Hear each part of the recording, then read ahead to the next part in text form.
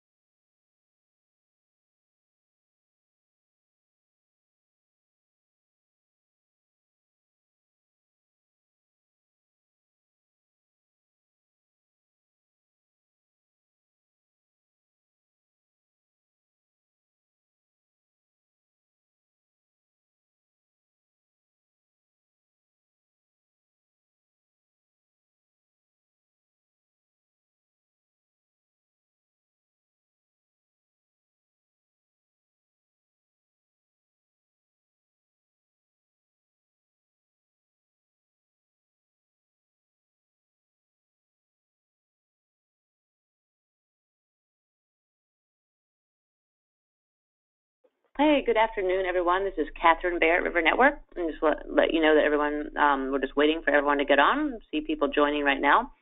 So thanks so much for joining us on our Water Trails webinar today, and we will be getting started um, right at the top of the hour.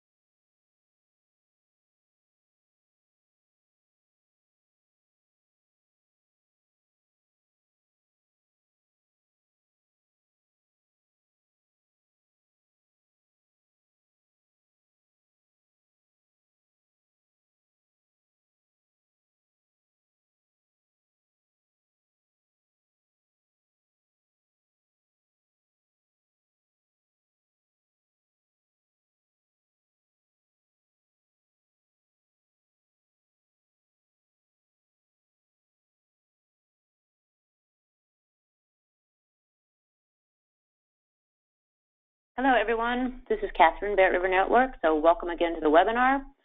Uh, we have a good number of people joining, and so uh, we'll give a minute or so more to let everyone get on. And as you know, you're um, using your computer audio speakers or calling in, and um, everyone is muted, so you can use the chat box to contact us if you have any questions.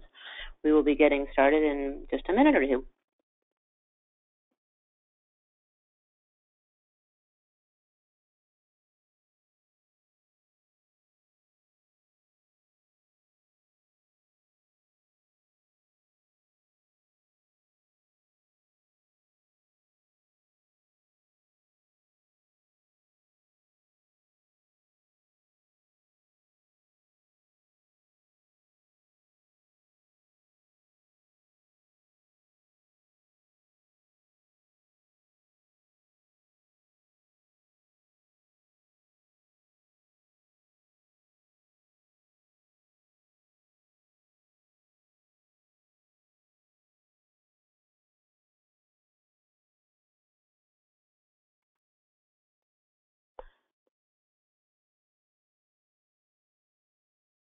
Hello, everyone.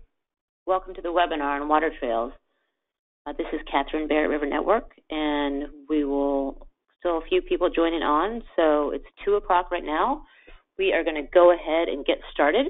Um, may have more people join us as we go. But um, so I just want to thank everyone so much for joining us today. I'm really excited about this webinar. And just as you've been seeing on the screen, um, you can use the chat box for questions, and we will, the speakers will be taking questions later after their presentations. Um, so feel free to um, use that chat box, and if there are clarification questions, we will stop, but otherwise we'll save them until the end. Um, and then we also will have a survey at the end of our webinar, so if you could fill that out at the end, we would be greatly, greatly appreciative. Um, help us improve these webinars along the way. So thanks so much for being here, and we are going to go ahead and get started. So um, again, my name is Catherine Bear, and I'm here with my colleague April Engel today. We work at River Network. We want to welcome you to the webinar um, as our organizers today, and we're really excited to be here with our colleagues from the National Park Service for the Water Trails 101, get on the right course and learn the secrets to success.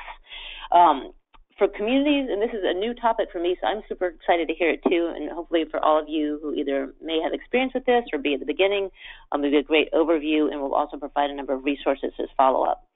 And so for communities across the country, water trails are a flexible and responsive tool for promoting a healthy economy and a high quality of life while preserving natural and cultural heritage along many of our waterways. Um, in today's webinar, um, the National Water Trails Learning Network will step us through the phases of water trail development, discuss the challenges and success, successes faced when creating and sustaining river access, and dive into a case study of a successful national water trail. The presenters will provide links to existing tools and time for um, conservation around established water trail best management practices. And so before we start, um, I wanted to tell you a little bit about River Network. Some of you are, are members of our network, and we invite all of you to join us. Um, we are a national organization that we connect water-focused nonprofits, agencies, and businesses around the country for greater impact for clean and healthy waterways for people and for nature. And we do this, we've been around for 30 years. You may know us through these webinars and through our annual River Rally Conference. Um, and so we work across the country to, with many groups that are working at the local and state level. And these are groups who may be at the, the forefront of either establishing national things like national water trails, but also fighting for clean and safe drinking water, um, or working um, with their local community on installing rain gardens and rain barrels, or working on a river basin level to ensure healthy flows um, for fish and wildlife. So we're really a backbone organization. We connect people across the country working to do this work. Um, and so we hope that you'll consider consider joining us in our efforts to do that. And um, thank you again for joining us um, joining us today. I want to note our partners in, in this webinar, two great webinar sponsors who we work with um, frequently on a regular basis. Um, first is the National Water Trails Peer Network, which is a peer-to-peer -peer network of managers from the more than 20 federally designated national water trails. River Network coordinates this network with the support from the National Park Service, Rivers, Trails, and Conservation Assistance Program.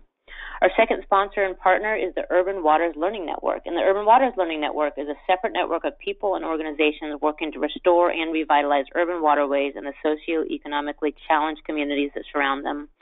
This network is co-coordinated by River Network and Groundwork USA with the support of the Environmental Protection Agency.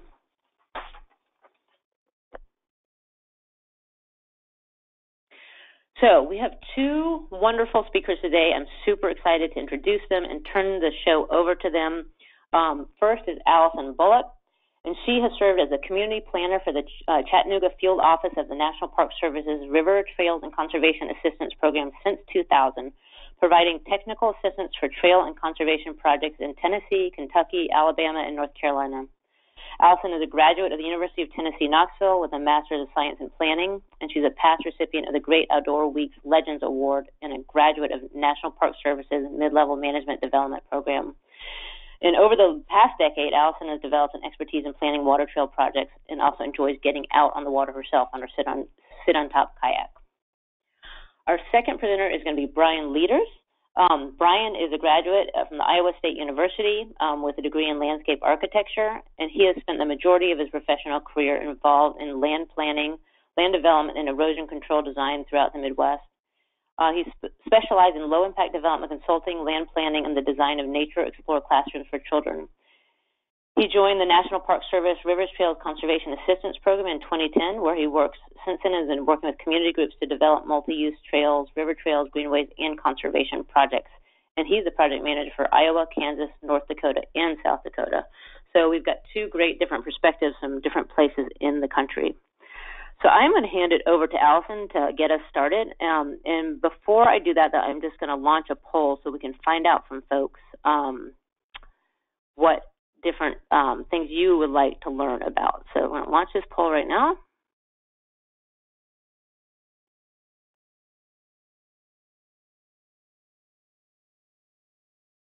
All right. Can you all, uh, can we see that poll coming out? They'll send me a chat message. This is April. I cannot see it, KB. All right, let's try to launch that one more time. We're all good.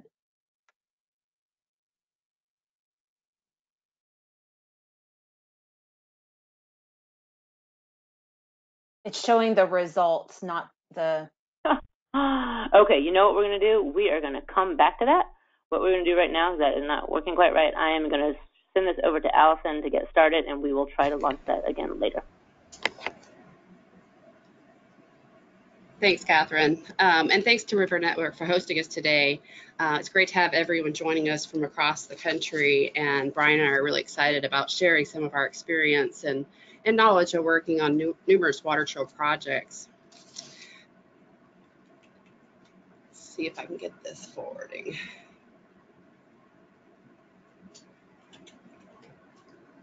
So Catherine, you might need to help me out here. It's not advancing slide.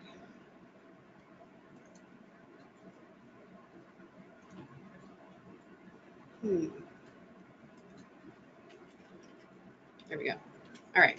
So um, I just wanted to quickly uh, share with you, you know, kind of a definition I use for water trails. Um, you know, I really look at water trails as a network of public access points along rivers, shorelines of lakes and oceans. Um, you know, there could be a variety of places where you can find water trails.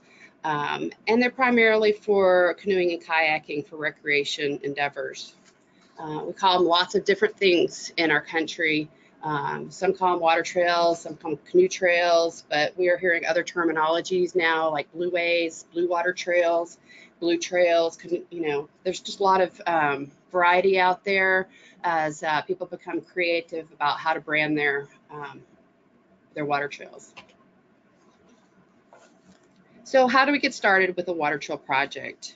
Um, I always recommend forming um, a planning team by gathering together partners and stakeholders from the very beginning of the process. Uh, you need to be able to think about everyone who might be involved in either the planning stages or the implementation stages and try to get them um, brought on board and to the table early on.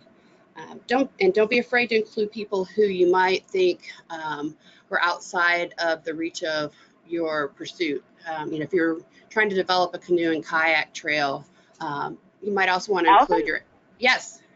You want to refresh your screen? I think we're having trouble seeing your screen right now. I'm just seeing the um the How do I uh, refresh the blank. How do I refresh it? Do you know? Um, why don't you let me do this? So your thing is up there. Let me um, let's change presenter back to me really quick, and then I'm gonna pop your screen up again. Okay. Just get it to reload. Okay, so I'm gonna come back to you. We apologize for our technical difficulties. Okay. Yep, There we go. I can see it now. All right. Very good. Uh, as I was saying, you know, reach out to your fishermen, um, rafting companies, motorized boating groups that are out there, and also include other stakeholders to your process who um, already might know the river really well. Um, it may be uh, companies on the river or um, um, water trail management companies um, or organizations and public land organizations. So there's a lot of different entities um, to consider and try to reach out to them early on in the process. So once you have your team in place, it's really important to kind of define the scope of your project through developing a vision, um, some goals, and especially the geographic focus of your project, which may sound silly, but um, you know, if you have a river um, that you're working on, you know, where is your project starting and finishing? Um, is it the whole reach of the river, or is it um, the whole watershed, or is it limited to one particular scenic section uh, that you really are trying to highlight? I typically suggest forming three committees associated with your project. You might end up having to develop more down the road uh, for specific tasks, but um, a mapping and access committee, a communication and marketing committee, and an organizational development committee um, have served the projects I've worked with really well. Um, and I really find that a lot of groups uh, worry about whether they need to start a new organization right off the bat to do a water trail. And I recommend that you either find someone who's willing to take the lead as a, an organization or um, just push, um, just hold off and form a partnership early on, um, something very simple and formal. Um, and see where things go. Uh, put the effort in um, a little further down the line. You really spin wheels on that. So our next phase, um, I think of as an inventory phase. It's really the how do you get to know your river? Um, you know, where do your access points exist? What's the river like? What are your key facilities, infrastructure, and services? Um, in this process, having somebody who understands mapping and GIS is so important. Um, to have help from, um, you can either go through the de- development district, a university, uh, or local government, um, or public agency might have those capabilities, but bring somebody into the project that has that expertise and develop a map um, that's going to have the paddler in mind, um, not necessarily the outsider, but somebody who um, you know, is going to be getting on the river and using that tool for navigation and planning their trips.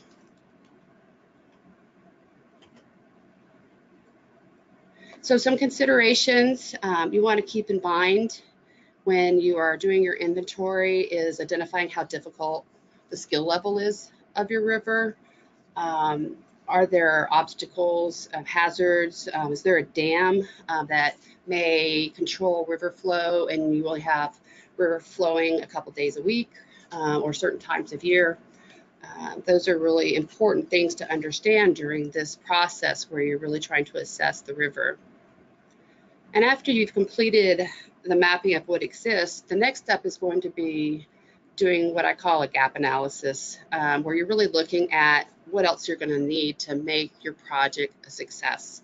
Um, are there additional access points you need or facilities like parking, um, maybe a campsite or two, uh, and where might you be able to put those? Um, so actually sitting down with the map and, and laying that out and setting some goals um, is really important in this stage. Um, we often use a tool um, like this to do our inventories on site. Um, this one, um, you know, you're going to your access points and you're taking data on each access point um, that you can then put into your GIS system, and then that can be mapped out later on when you're sharing information with the public on, you know, what type of ramp or boat launch do you have in this access point. Um, how much parking is there? Do they charge a fee or allow overnight camping? Uh, these things are really important to try to understand from the beginning.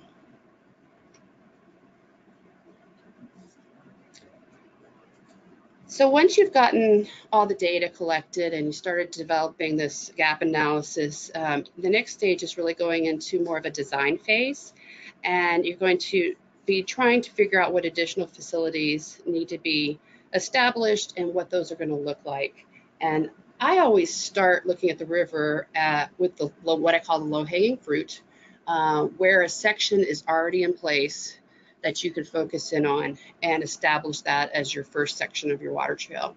Um, you know, a good section might be, uh, you know, for a river, five miles, um, six miles, something like that, where you have a good put in and take out, you have your signage and, um, you know, you are able to implement something in short order.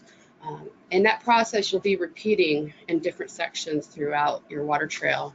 But you're going to want to meet with landowners or land managers on site and, and figuring out how you're going to um, co-manage this project. Um, do you need an agreement or an easement to use it um, or any kind of permit?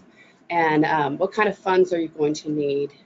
Um, and you're also going to be looking at a design of your facility um, needs that are going to be in place. So you want to um, look at it. There's a really good guide that River Management Society has on their website called Prepare to Launch, the RTCA assisted in the development of, that has all sorts of tools associated with it to help you figure out what kind of uh, launch facilities you need for access. Uh, but we try to take into account, um, you know, looking at how we can accommodate disabilities when designing our access points. You can't do that in every situation, um, but the more we can um, really think about that in our mind at the beginning, the more we're able to figure out how to do and, um, and expand this as a really viable opportunity for people who have limited mobility.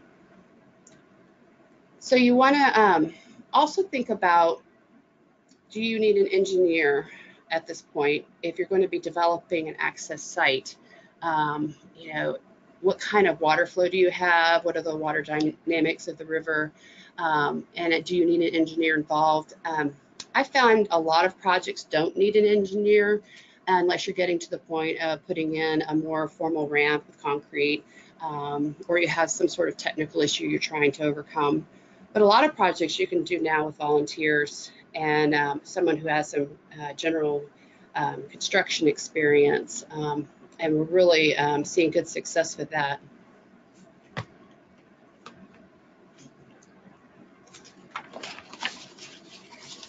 So the next stage of planning um, is really one that's been going on the whole process uh, behind the scenes.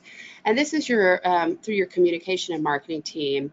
It's looking at how you're going to promote and communicate your project to the outside world.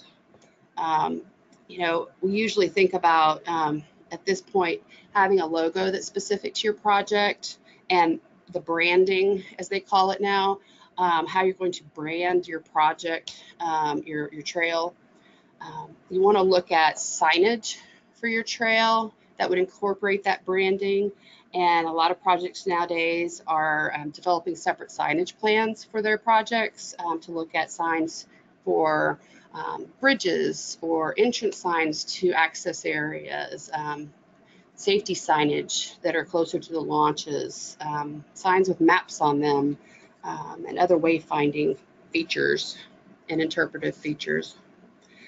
When you're developing your promotional materials, you really need to think about that fact that a lot of the people coming to the river are going to be first time paddlers with no experience whatsoever in paddling.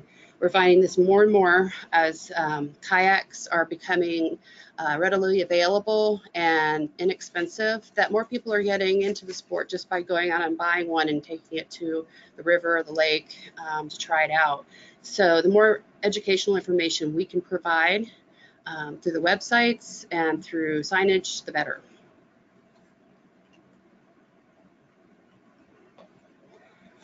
So in this day and age, the biggest thing we use for um, communication tools are the website and social media. And most of my projects now have separate websites associated with them. Uh, a couple of them have uh, a couple of pages um, that are integrated with another website um, where they share a platform.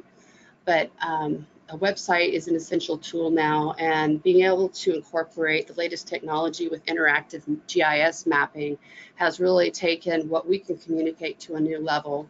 Um, I like to be able to set it up that um, people can go online on their home computers and be able to actually print out something um, from their home computers that they could take with them if they wanted, um, or download it onto um, their phone through an app. Um, this is becoming more and more common. Um, we're every day less and less doing printing of guidebooks and brochures. So um, although a lot of them still do that. I also like to encourage my project partners to host events to get more people out and engaged in the project. Um, and I, I, one of the things I like to do is a, what I call a VIP event with, um, I've got a project not too far from where I live, um, the Hiwassee River. And we get all of the people that help fund the project and um, the land managers and the media out on a, a, day on the river. And it's a great experience and it has um, really uh, paid off in a big way. So I think another thing that's really important to point out as you're going into the implementation of your project is that this takes place over time. Um, you know, you might have sections that you build upon um, over years, um, but you know you're ready when you have certain elements in place. Um, like, do you have your signage already in place? Or do you have good access in place? And do you have maps, um, either online or available for your project? If you have those components, in place, um, you know, you're probably in this realm of getting ready to launch a project.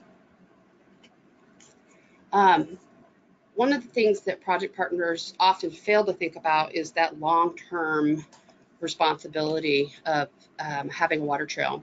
And that's your operation and your maintenance, um, how you're going to long-term manage the project, who's going to be your coordinator, who's going to lead it, um, how are you going to do maintenance of the project? Um, do you have a volunteer corps that you can pull together and send out when there's been a heavy rain and you look for log jams or, or clean the mud off of the ramps?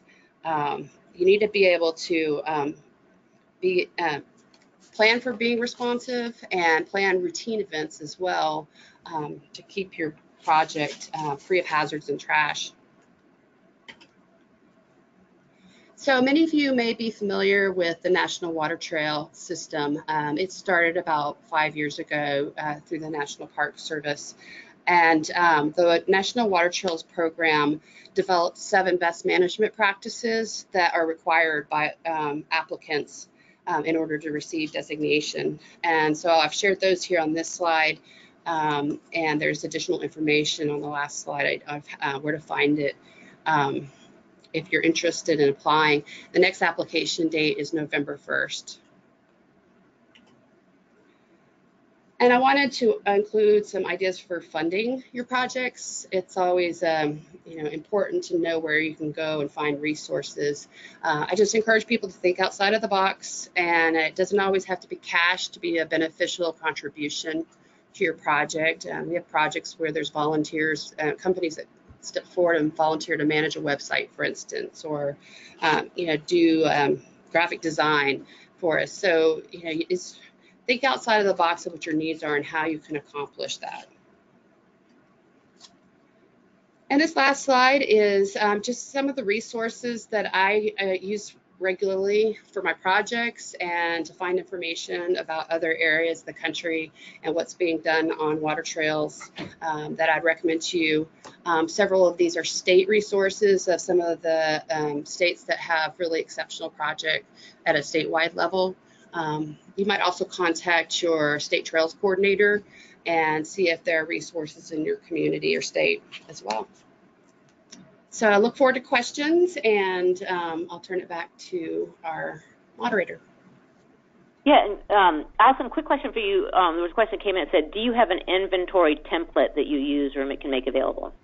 I do. Um, so I do two different inventories. Um, I do an inventory of the land-based assets, and then I also do a floating inventory where it's more of what to see from the river and, and kind of taking account of, you know, when there's overhead wires and things that you can use for navigation purposes, where you can identify hazards. So I'd be happy to make those available. Okay, great. That's, thank you so much. Um, we were able to redo the poll, so I think um, April is going to launch the poll for us. April, there we go. Okay.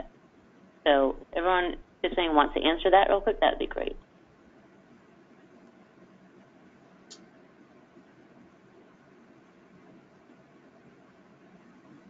We still have some answers coming in, so we'll just wait a few more seconds and we'll show you all the results.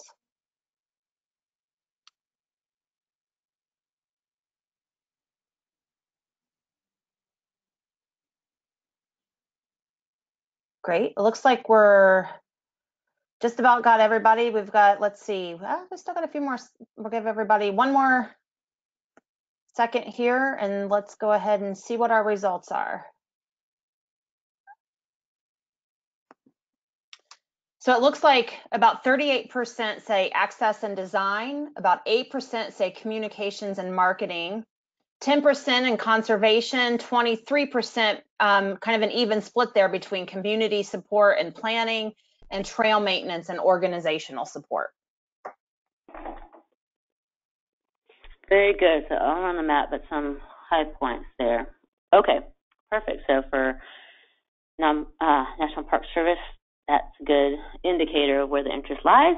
Um, okay, so Allison, thank you so much. Um, we are going to keep moving. I am going to um, move this over and let uh, Brian show his slides. So Brian, I'm moving it over to you.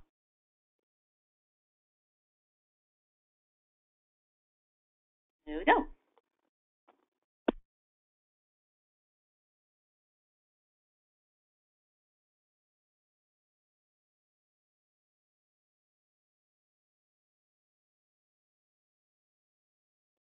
Okay, good. And Brian, we can see your slides, but we cannot hear you right now. Oh. I just No. unmuted you, Brian, so you're all set. Okay. Okay, Okay. and can you see my slides? Yes. Okay. All right, great. Welcome, everybody. Um, thank you for joining us. Um, the poll that you just answered, I, I hope I touch on every piece of that and answer many of your questions. But if not, we'll have uh, contact information for you to reach out to us and be happy to answer any questions that we can. Um, what I want to talk about today is basically tagging on to exactly what Allison went over, but in a real life example. Um, what I will talk to you about is the Kansas River and uh, the Kansas Water Trail that I worked on back in 2011, 2012. Uh, we did get it designated as a national water trail. It was the second one designated through the National Water Trail System. That project uh, was 174 miles long and it uh, traversed a large part of the north third of Kansas, all the way from Junction City into Kansas City. So a little bit about the planning team. Um, we had a we had a rather large planning team. These are the major players. Uh, I, I can't list all of them, but Kansas Department of Wildlife Parks and Tourism was our applicant and our main partner. Um, we also had a group called Friends of the Kaw. Uh, Kaw is short for Kansas River. Uh, it's a nickname that they gave it many years ago. So if you hear me say the Kaw River, it's the same river.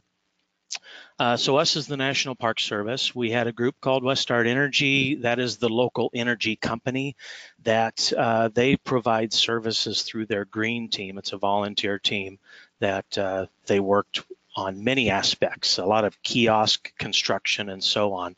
And you'll see some examples of that, and I'll talk about them a little more later on. Economic uh, Development Corporations of Kansas were a big part of it. We had 15 communities along the river that all participated, as well as all of the contacts uh, or major players from the seven counties that the river uh, runs through. So the primary partner, Kansas Department of Wildlife Parks and Tourism, they uh, we gave them a number of roles. Uh, we wanted them to be the lead. We did not, as the National Park Service, want to be the lead on this project, uh, but we wanted to be a major partner in help guiding them. So um, they were the lead agency. They provided staff and staff support. They were a big part of the funds gathering uh, aspect of it. They uh, provided funds through the state and they also provided through uh, grants and they also raised money in partnership with the local communities. They also acquired land for access points if it was in public ownership. Uh, a number of access points were in public right-of-way or public parks, and therefore they did not need to acquire. Um, they were a big player in developing the brochure and the kiosk panels and uh, the Park Service worked very closely with them on design and information and review. We also um, worked with uh, KDWPT to manage the construction of a few of the access points. And um, I guess I should rephrase, uh, rephrase that as we didn't help on the management, but we did help on some placement, uh, some of the design, and also uh, finding locations that worked the best. And then we uh, worked with them to develop a long-term river management plan. So um, when it comes to river inventory, as uh, Allison said, um, there's a lot involved, especially on 174 miles of river and almost impossible to cover it all just with a few people.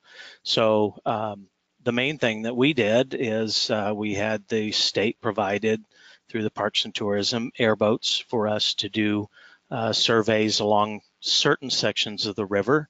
We also relied on our local communities uh, and local paddlers to provide information as well. Uh, so we took that information and, and gathered it. Um, we did create through uh, a GIS plan, we did create a map of the entire river. These uh, numbers you see 1 through 30 are pages. These were 11 by 17 pages uh, that we created all the way along. And um, we used aerial photography. We also used local community uh, maps and what have you for streets. The river project, uh, we the mileage was based on starting at zero at the confluence with the Missouri River and working its way upriver. So you can see the blue numbers there in the river. Uh, these these numbers are the river miles. We also uh, marked what existing boat ramps uh, were there. And then we also, when we went through the planning portion of it, looked at what type of accesses were needed in between those and uh, where those accesses were needed. Um, I, I, will uh, just mention as well that this was not just a one or two year project. The state and the Friends of the Kaw and many other people will have been working on this for several years. Uh, 2011 and 2012 were the two years where it all really came together and the partnerships started working uh, to finish this project and to get it uh, designated. So access planning and impl implementation. Um, so again, we used the maps and we, we sat down um, in groups and talked about where those access points needed to be. Um, we come up with a mapping plan. The yellow numbers that you see here are based on river miles and access location. And uh, so the P uh, was for a specific uh, location related to uh, the name of the park, or L uh, was for Lawrence River uh, Front Park, and so on. So the letters referred to the location or a specific um, entity in that area. The numbers, so if you see E6, E4, and so on, if you were on the river and you saw this sign, it would mean that you are six miles upriver from takeout letter E uh, and whatever that represented. So we put together the maps. We um, studied the river as far as what side of the river was best for the access point. And uh, oftentimes we were basically stuck with where we had uh, public access or land that could be purchased. So we had to had to work with that. Friends of the Kaw was a major player in these uh, access points. They um, had a few people that were very experienced and actually had worked for the state of Kansas in building uh, access points years ago. And so they took on the task of managing and having these installed. The people you see in the upper left-hand corner were guys that actually took their four-wheel drives out on the river and, and drove through the sand. They're called mud runners. And um, they were asked one day if they would be willing to help uh, protect and build amenities for the river uh, instead of just tearing it up all the time, and they were all for it. So they become builders of the river um, access ramps. They helped tie rebar, they helped place rock. They also uh, came in and helped pour the concrete and build the sites. Um, some of you that are asking about building access points, the picture to the top left, that is a, uh, I think a 70 foot long slab poured concrete with rebar. Once that is hardened, uh, we, we had uh, the energy company that was providing equipment, they came in with a D9 cat and they pushed that slab down the ramp and into the river. And then they finished pouring the uh, ramp the rest of the way up. Uh, Kansas, as you may know, has lots of limestone available, and so limestone was used uh, throughout most of these access points for tables, for uh, parking blocks, and so on. Um, this image shows on the left a site that we had looked at initially near the town of Belvue, Kansas. And uh, the picture to the right is basically the same picture about nine months later. Uh, this was an area where people would go, and you can see the shotgun shells in the left picture. Uh, people would go there to drink beer and shoot their guns and throw out their trash and so on. And the city of Belvue said, what better way to clean up this area and to use it for the the good of the public. And so this became uh, their access ramp. This is another picture of a before and after. The uh, ramp and the, the slab that I was talking about pushing in is, is this ramp. So uh, it turned out very nice. We had a governor's paddle after all this was done and all of these people coming off uh, were there for the governor's paddle. So it worked as a great takeout point. Many of these river projects or access uh, river projects were done in partnership with the local community, uh, but also done in partnership with many other entities. And so signs like this were posted and you can get an idea of how many uh, groups were involved.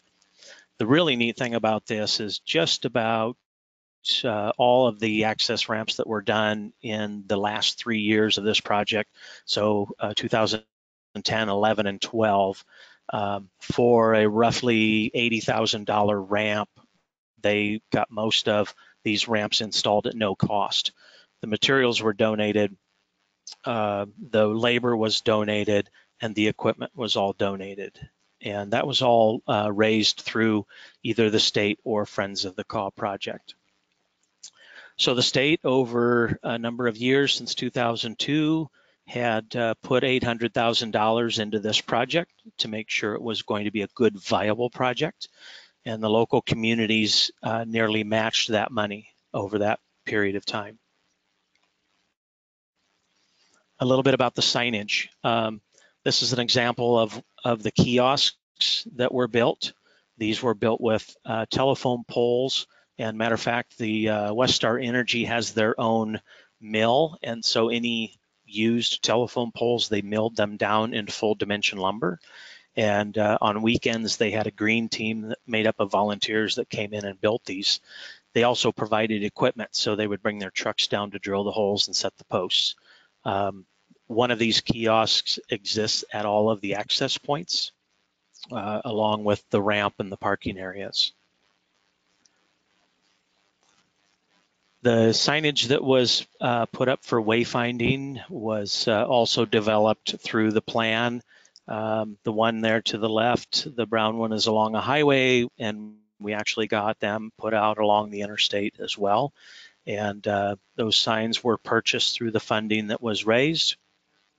And uh, the mapping was done very similar to what we did for the river. Um, this is this is a study, the study that we had done for the river signage, but we also did a wayfinding uh, on land signage plan as well. So where we needed a sign, we put a red dot. If we needed a left turn arrow or a right turn arrow, we put a different color dot and so on. So these are um, examples of what the signs are. So um, for instance, you can see Belvue and that would be a letter B. So this sign would be a B. And then this would be a B2. So if you were two miles upriver from that access point, you would be, uh, you would know that you're two miles from Belvue. Um, this map is part of the brochure that was put together and it would be downloadable and printable for people getting onto the river so they would have uh, those directions with them to be able to guide them as they uh, traverse the river. Finding places to put the signs up was not always the easiest, uh, but we got it done. And so by airboat, we went out, marked sign or marked sign locations, and then uh, chained them high up into the trees so uh, high water events did not take them away. For the map development, this is the map that we put out. I can provide it to anybody. You're welcome to uh, get a copy of it or take a look at it for an example. There's lots of information on here, so I won't take the time to uh, go through that. So finally, a river dedication was done in 2012. We had the governor of Kansas and we had the Ken Salazar, the secretary of the Department of Interior, as well as other dignitaries. We did a river tour uh, with airboats. We did a dedication in Manhattan. We also did uh, a public service announcement, which you will see the video here in a few minutes. And um, we had it open to the public and we had several hundred people come out for that dedication. So we're going to talk about promotion. I'll turn it back to Catherine for a minute. She'll play that quick video. It's about a minute and a half long, I believe. Okay, and actually, let me give you a question real quick while I move that sure. over. Question to you about do you have issues um, with right of way regulations when placing your signage along roads and highways? Oh, absolutely. Um, no matter what state you work in, there are right-of-way regulations. Um, state of Kansas, DOT, uh, we work with them very closely. They were um, actually very easy to work with on this project because it was a state project. Um, but you you absolutely have to work with your state, your county, and your city uh, crews that uh, design and install these signs and decide where the placement goes before you even think about putting any signage up. You want to get their approval.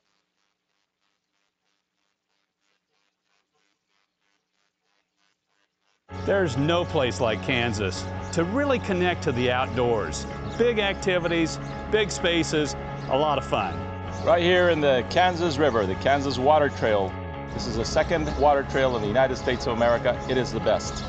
The Kansas River Trail features 173 miles of winding lazy waters, wildlife habitat, and natural beauty, and is one of the world's longest prairie rivers. For information about recreational trails in Kansas, whether for hiking, biking, or on the water, visit travelks.com.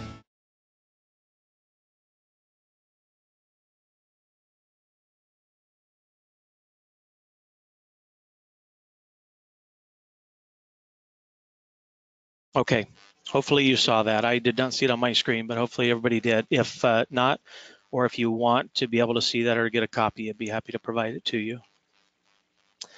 Um, so just to wrap up, uh, talk a little bit about promotion. Um, the state of Kansas has a web page. They have a page that is desi uh, designated for the river. Um, they have lots of good information on there for anybody interested in uh, paddling the river, you can go there and find uh, the maps and all sorts of things. Uh, the other thing, the neat thing about Kansas is we have a second water trail. It would be the Arkansas River that was just designated as a national water trail last year. So uh, they should have a web page up for that as well. So as I mentioned, the governor's paddle, uh, this was part of a promotion where the governor wanted to have an annual paddle and he invited people out from the public and everybody that was involved in it. And uh, people brought their canoes and kayaks and we all paddled um, for a half a day down the river. And uh, we put in at one of the new access points and we took out at one of the new access points.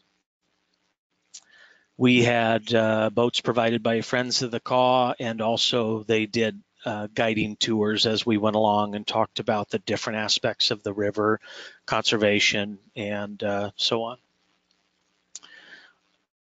After the project was complete, the governor formed a governor's committee. He wanted to make sure that this um, water trail existed for a long time and stayed uh, usable and all of the access points uh, were maintained. So what we uh, ended up doing through the governor's committee is uh, pulling together a group of representatives from each of the communities. Each of the communities agreed to take on their access point for maintenance uh, in partnership with Kansas Department of Wildlife, Parks and Tourism.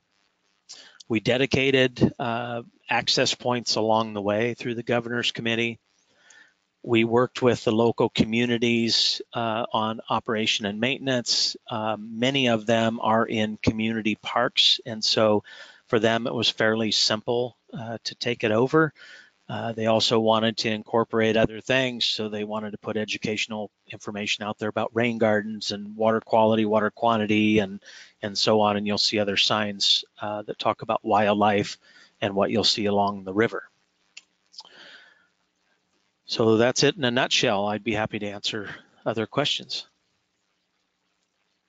Great, Brian, thank you so much. Um, a comment from someone came in and said, um, in Pennsylvania, we have an agreement with Pennsylvania DOT to place signs on bridges facing the river on all designated water trails.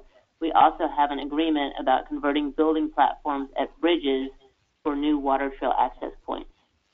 That's awesome. That's um, rarely heard of for many of the states. Um, even so, so this person mentioned putting signs on the bridges so people on the water can see them.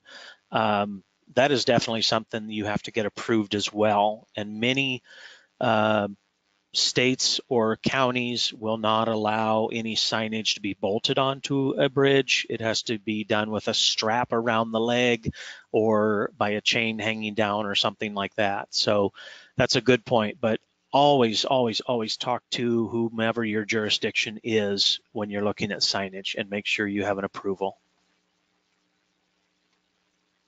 Okay, good point.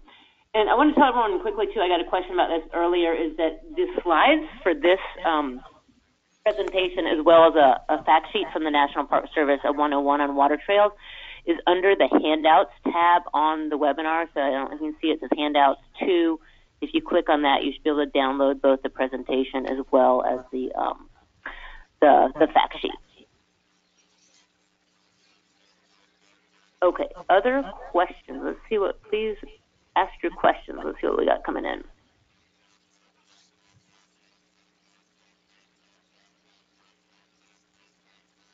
Uh, let's see.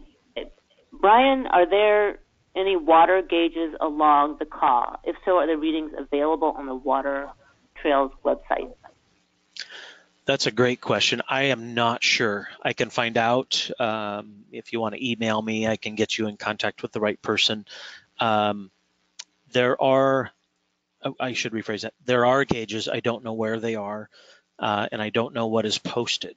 Um, I know a local river that uh, I used to use quite a bit had gauges, I think, about every 20 miles, and those are posted. And um, uh, it's slipping my mind where where you would go to find those, but they should be, they all should be on the same website. Um, I'll try to think of it before we're done today.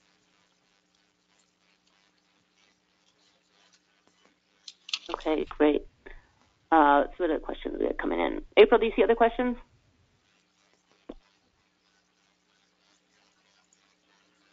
Um, so one one question, KB, and I'm trying to figure out the answer to is um, Corey is saying that he doesn't see the handouts tab, and I'm not actually seeing it either. Um, so I and I'm not, and I went in to check on the back end to see what that might be going on. So I don't know if you have a, the ability to check on that. Um, and then Carita is um, has offered. You all may be able to see this, but just to sort of reiterate some important points that she's making.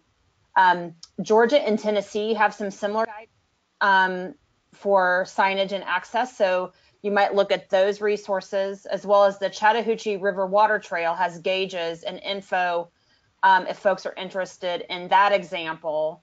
Um, the handouts can be found on the audio tab is what, which I'm not. Someone said I can see the handouts in the handout section above. So if you all okay. see, there should, um, I'm not sure exactly what participants are seeing, but um, you should see a, a um a tab on the right under above chat that would say handouts. That's where it is on mine. Um, and otherwise, if you can't see them today, we will try to send them out. Um, there's a drop down in gray, is what someone, Corita, is saying. So I think that's where it is. But we can also send them out in an email afterwards.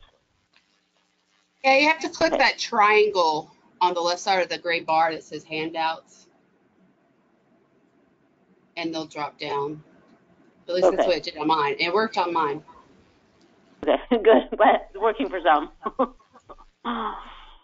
Okay, I did find um, where you go get the information for water levels. It is on the USGS site. Um, it is USGS current water data. And you can click uh, on the graphic area top right, you can click by state.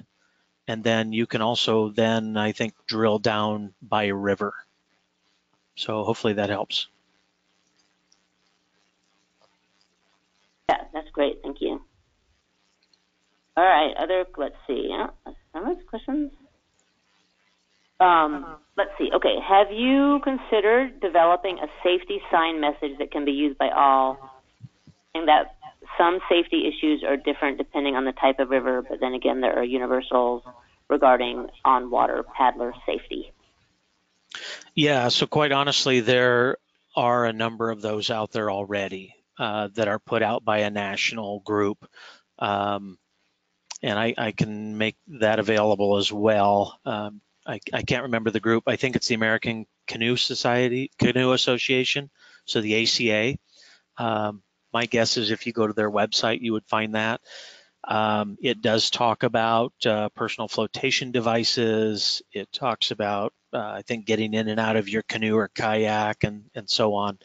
Um, the, the, I'm not sure what, that one doesn't talk about it, but I know a big deal that a lot of people talk about now are dams and uh, notifying people when to get out instead of uh, getting too close to the dam and so on we did that on the Kansas River and that brochure that I showed you. We talk about um, safety and dams and, and we have signage on the map and we have signage on the river that says take out now, you know, move to the left, take out uh, at the next exit and so on. And um, that was a big, big deal for this project is how do we make sure uh, people are safe?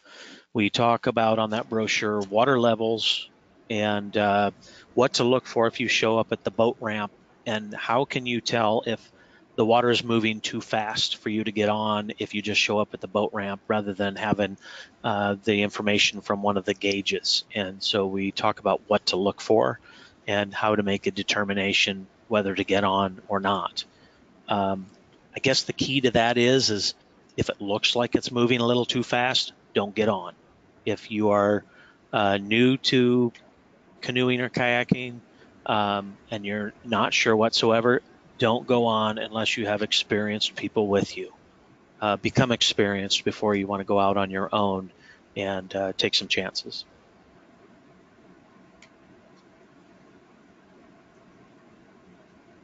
Good point. And uh, Karita and others are putting in some good links here that we can share, but they're in the chat box about some of the paddle sports safety infographics, which may be helpful to everyone. Um, okay, good. Other questions? And for Allison and Brian, have you worked with handicapped or veteran groups to improve access? Allison, you want to take it? Um, I personally have um, not had direct experience working with them, but I've had several project partners that have. Um, and uh, some there's a, a veterans group um, in Clarksville that's been working on the Red River um, Water Trail.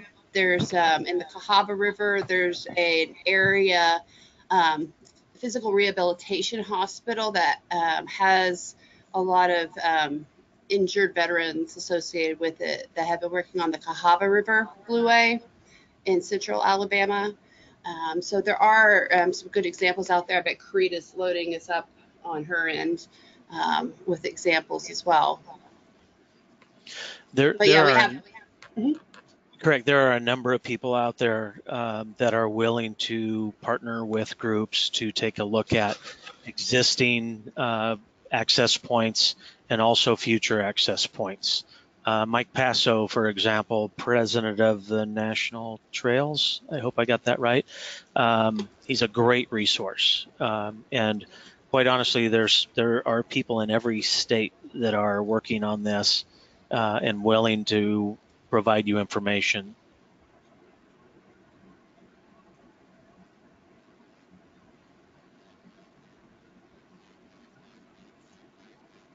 Okay, good. Yeah, and people are um, suggesting, yeah, Team River Runner Vets, another good resource. Um, okay, other questions for, for our great speakers?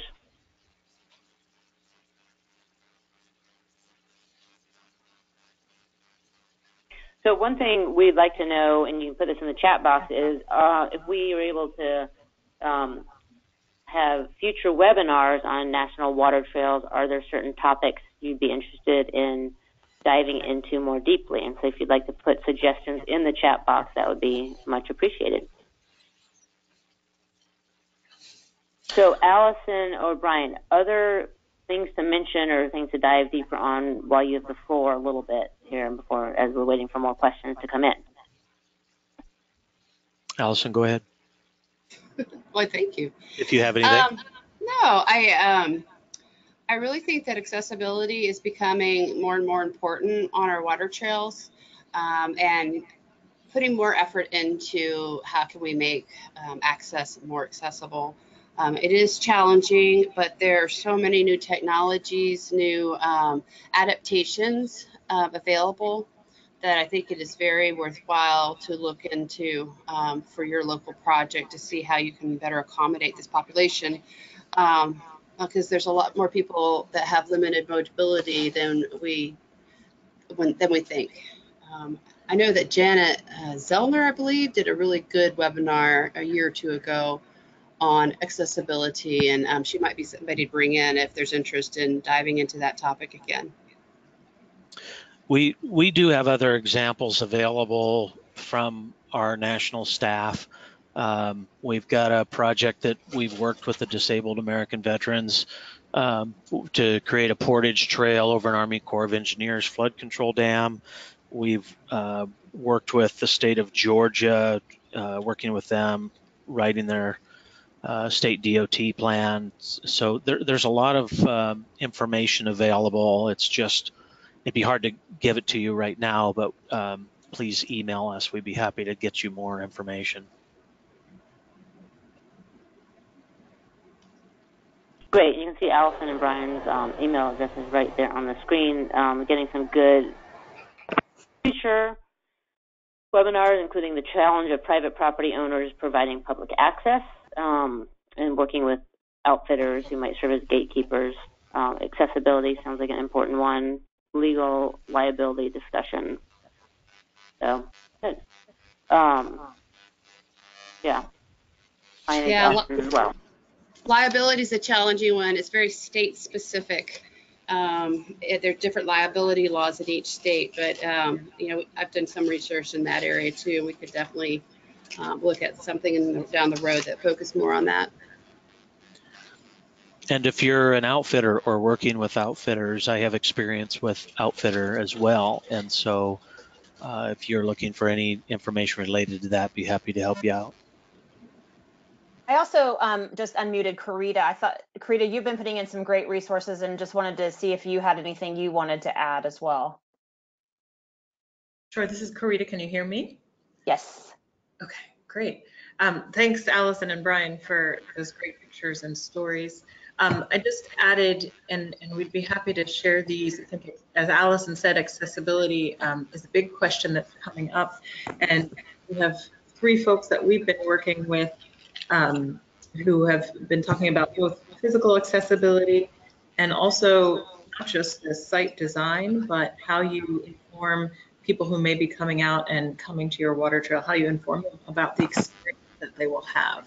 So um, in the next six months, we'll have some additional guidance coming out about launch design and inventory, as well as at the International Trail Symposium, we'll be doing some uh, a water trail workshop where we're looking directly at some of those access points and talking about access for all. So just wanted to, Janet Zeller, who Allison mentioned, also will be there. So wanted to bring those to people's attention. Thanks.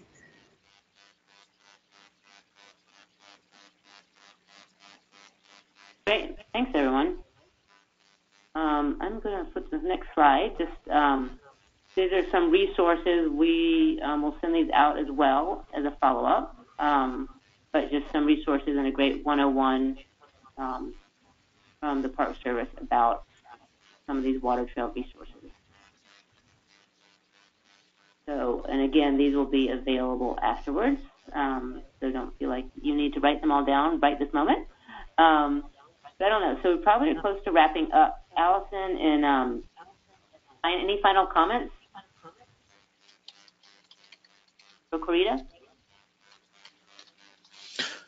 No, I'm uh, glad to have everybody here and uh, glad to see lots of interest in it. So feel free to reach out to us. That's what we're here for.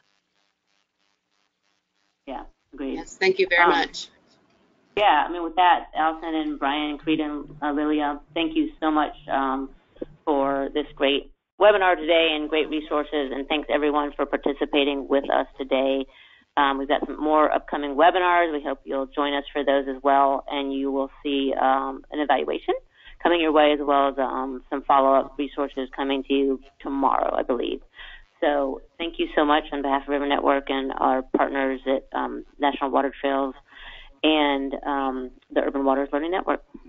So hope everyone has a good afternoon. Thank you.